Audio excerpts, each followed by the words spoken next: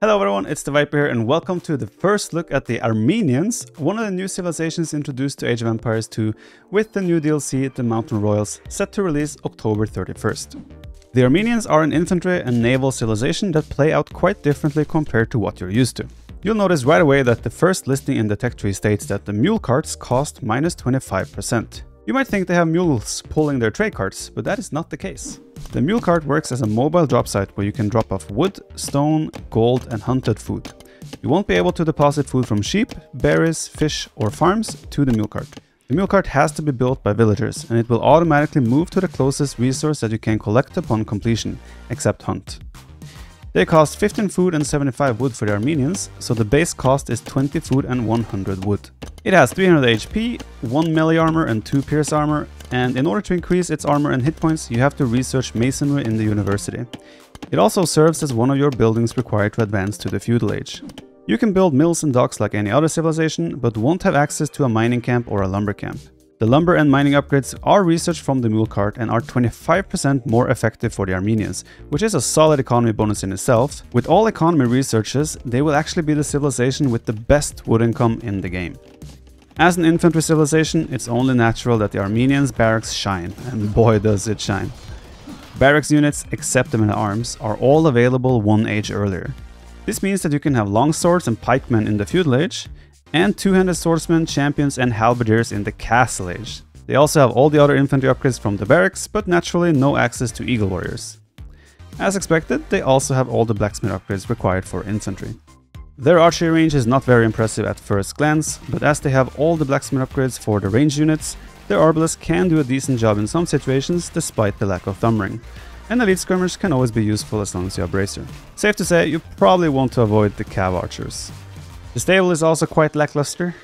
Whilst you do have knights, light cavalry, husbandry and bloodlines, you won't scale well as the game goes on. Without plate barding armor, hussar or paladin, your options are pretty much exhausted past the castle age. We find the Armenians with below average siege options as well. You're capped, unintended, at capped rams, onagers and heavy scorpions. As every other civ, you do have siege towers, but without siege engineers or bombard cannons, it's quite a disappointing siege workshop. You do, however, find another bright spot for the Armenians in the dock. Instead of the cannon galleons, you do get access to the fairly new Dromon, and the lack of fast fire ships is heavily compensated by the galley line firing two projectiles. Okay, the second projectile doesn't do that much damage, so it's not as broken as it sounds. And they also have a unique tech from the castle that will make Tato very very excited. Cilician fleet comes in at 350 wood and 300 gold and increases the demolition ship's blast radius by 33%.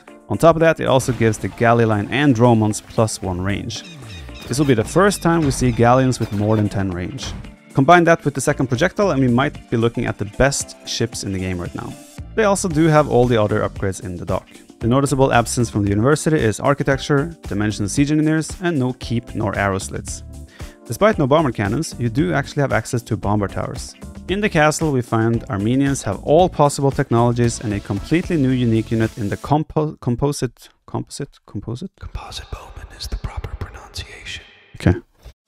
In the castle, we find Armenians have all possible technologies and a completely new unique unit in the composite bowman. We're talking about an archer unit that ignores armor here. That does sound very scary, but if we dive into it, I don't think it's that broken. The cost of 35 wood and 45 gold is comparable to most other unique range units in the game, and they enter the game with 40 HP and only 4 attack and 4 range. With only 1 melee armor and 0 pierce armor and fairly low HP, it makes them very vulnerable, and due to the low range they already have to get somewhat close to engage. The elite upgrade is quite cheap at 600 wood and 500 gold, but it only gives 5 more HP and 1 more melee armor. The Armenians don't have thumb ring, but the composite bowman does have a base accuracy of 100. So they already have one of the thumb ring benefits, but the faster firing definitely would have helped. They move as fast as regular archers and have plus 2 bonus damage against the spearman line. They do strike me as a unit that packs a punch, but at the same time is extremely vulnerable and quite easily countered by ranged units due to them having no base ranged armor. Cilician Fleet is the Castle Age unique tech we talked about earlier during the dock overview. The Imperial Age one is called Fereters, which gives infantry, except the Spearman line, 30 extra HP and gives warrior priests, which we'll talk about very soon, plus 100% heal speed. It costs 550 food and 400 gold and will give champions as much as 100 HP. Alongside the Georgians, the Armenians will not have the usual monastery, but rather a fortified church. It costs 200 wood and has more HP and armor compared to a normal monastery. However, you'll notice that the fortified church also has an attack. With 5 damage and 6 range, it is a monastery that also functions like a tower with single arrows fired. You can garrison villagers and, funnily enough, relics in order to provide additional projectiles.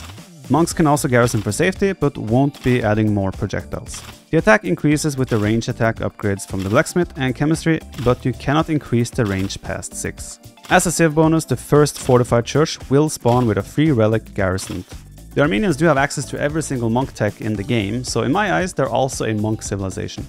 The fortified church is also where we'll find another unique unit, the warrior priest. This is an infantry unit that can also heal friendly troops. It costs 30 food and 60 gold, has 80 HP with 11 attack and 1 melee and pierce armor. It starts off slower than the militia line, but as they benefit from both infantry and monk upgrades, once you have squires and fervor, they'll be faster. As it also benefits from the HP boost of Fereters and Sanctity, the unit can end up on 125 HP, which is a lot for an infantry unit. With full upgrades, it has 2 less attack than a champion, but the same armor and 25 more HP. But as it can also heal friendly troops, it might be a valuable addition to the army. Initially, the healing is slower than a regular monk, but once Fereters is researched, it out-heals a monk by quite a lot. Note that warrior priests cannot convert enemy units, but they can pick up relics.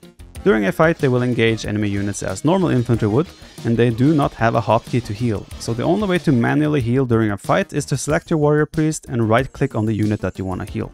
Another trick can be to select warrior priest and put them on stand ground, where they will then be healing allied units within range, and they won't be engaging enemy troops as long as there are no enemy units adjacent. Certainly a unit that will be very fun to explore and figure out how to properly use in a game. The Armenians team bonus gives infantry plus 2 line of sight and carries on the theme of this being an infantry civilization. At last, they do have all the economy upgrades and guilds except stone shaft mining and crop rotation. In my opinion, this civilization has a very unique and interesting way of playing. The economy management is going to take some getting used to as you'll have the mobile drop-off points, but it will also make your economy management quite flexible and easy to transition.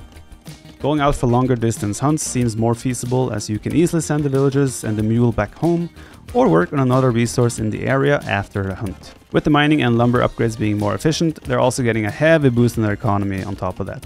I could see them struggling a bit with their tech tree, especially in 1v1s. They're heavily encouraged to go for infantry play in the early age, as you'll have champions and halberdiers in Castle Age for example, who probably want to mix in some warrior priests and monks maybe, and then some skirms to counter range units at times. I can also see people aiming for the unique unit, as with good micro they can be very deadly, but I also see them as a bit of a high risk, high reward kind of thing, and they probably work the best if they have a meat shield in front of them. The Armenians can also play regular knights and crossbows, but those types of troops will not scale well as the game goes on. And I do think their playstyle is going to be quite similar for both 1-1 and team games, but I also think they will struggle quite a lot on more close maps such as Black Forest, because their siege options just are lackluster.